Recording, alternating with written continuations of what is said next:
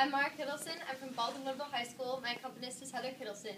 And today I will be singing Greenfinch and Linnet Bird from the disturbing musical Sweeney Todd, music and lyrics by Stephen Sondheim.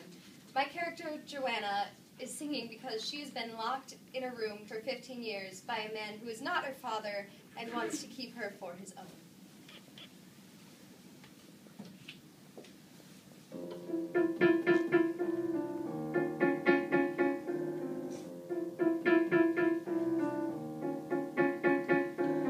wave you gently